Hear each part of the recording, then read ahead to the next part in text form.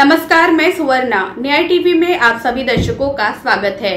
Court roundup की खबरें अब विस्तार से। मुंबई की स्पेशल पीएमएलए कोर्ट ने गुरुवार को महाराष्ट्र के कैबिनेट मंत्री और राष्ट्रीय कांग्रेस पार्टी नेता नवाब मलिक की प्रवर्तन निदेशालय ईडी रिमांड सात मार्च तक के लिए बढ़ाई। प्रवर्तन निदेशालय ने मलिक को भगोड़े गैंगस्टर दाऊद इब्राहिम के परिवार के सदस्यों के साथ कथित संपत्ति सौदे के आरोप में 23 फरवरी को गिरफ़्तार किया था। उस दिन कोर्ट ने मलिक को 3 मार्च तक ईडी की हिरासत में भेज दिया था। कोर्ट ने आज ईडी रिमांड 7 मार्च तक बढ़ा दी। अदालत ने कहा, ये देखते हुए कि आरोपी को 25 से 28 फरवरी तक अस्पताल में भर्ती कराया गया था और जाँच अधिकारी अपना बयान दर्ज करने में असमर्थ थे।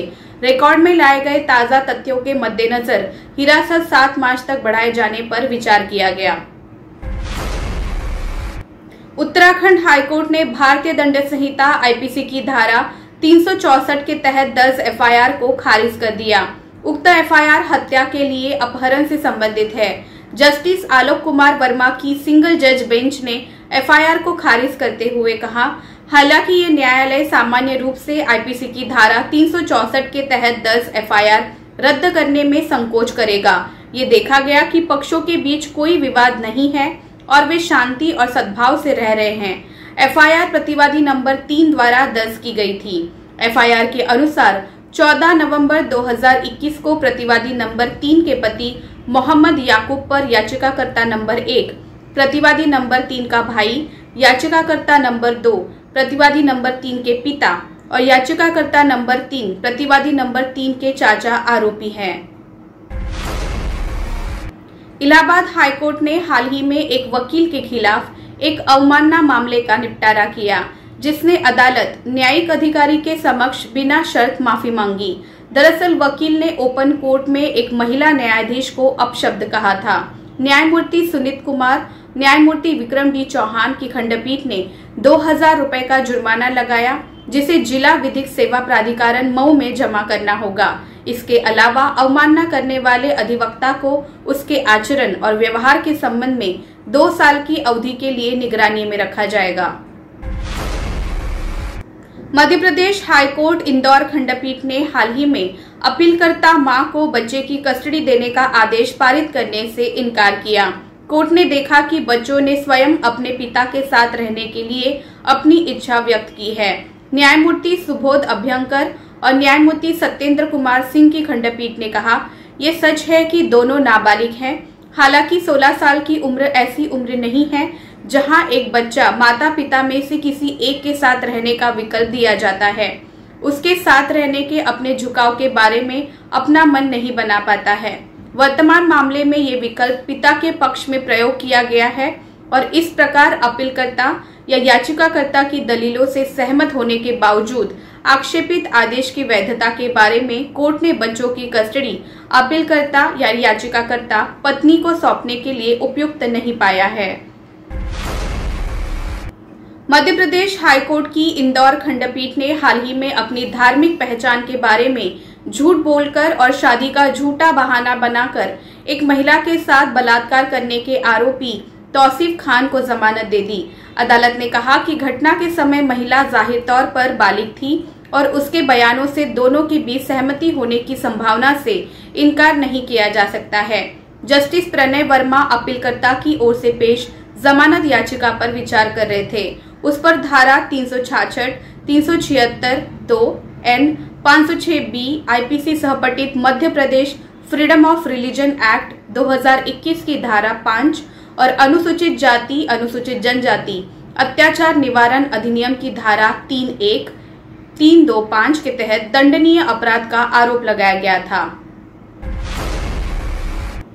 राजस्थान हाईकोर्ट में केंद्र सरकार ने बताया कि उसकी एजेंसियाँ रूस के साथ संघर्ष के बीच यूक्रेन में फंसे छात्रों सहित भारतीय नागरिकों को वापस लाने के लिए हर संभव कदम उठा रही है।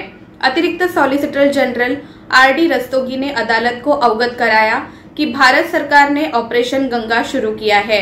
इसके तहत वो विभिन्न देशों के माध्यम से यूक्रेन की राजधानी, यानी क्यू के लिए विभिन्न उड़ानें भेज रही है।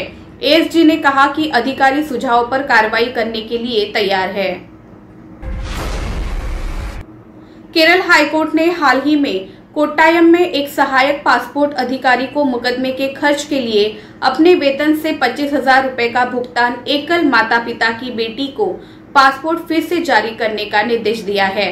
अपने आदेश में न्यायमूर्ति अमित रावल ने इसे सहायक पासपोर्ट अधिकारी द्वारा वैवाहिक कलह का सामना कर रहे एकल माता पिता के बच्चे को पासपोर्ट फिर से जारी करने और उन्हें अदालत का दरवाज़ा खटखटाने और अदालत का आदेश प्राप्त करने का निर्देश देने पर आपत्ति जताने का एक उत्कृष्ट मामला बताया है।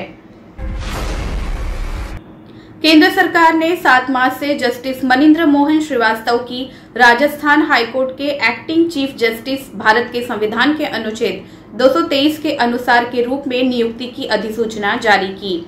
उत्तराखंड हाईकोर्ट के सीनियर जज justice M M Srivastava Rajasthan high court के चीफ जस्टिस अकील अब्दुल हामिद कुरैशी के सेवानिवृत्त होने के परिणाम स्वरूप हाईकोर्ट के मुख्य न्यायाधीश के कार्यालय के कर्तव्यों का पालन करेंगे। जस्टिस कुरैशी 6 मार्च 2022 को सेवानिवृत्त हो रहे हैं।